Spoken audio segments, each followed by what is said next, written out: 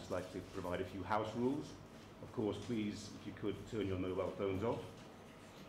The conference will proceed with The renewed mandate uh, continues to place protection of civilians at the heart of the mission's work. The other key areas are assisting in improving the security situation and helping to lay the foundations uh, for the new state, including extension of state authority. We are committed to working in partnership with the authorities and with the people of South Sudan to fulfill uh, our mission. and advocated for an inclusive process. It's very good to see ambitious reform and transformation program and action plan for the police.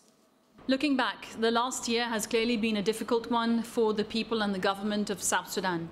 It has been a tough start.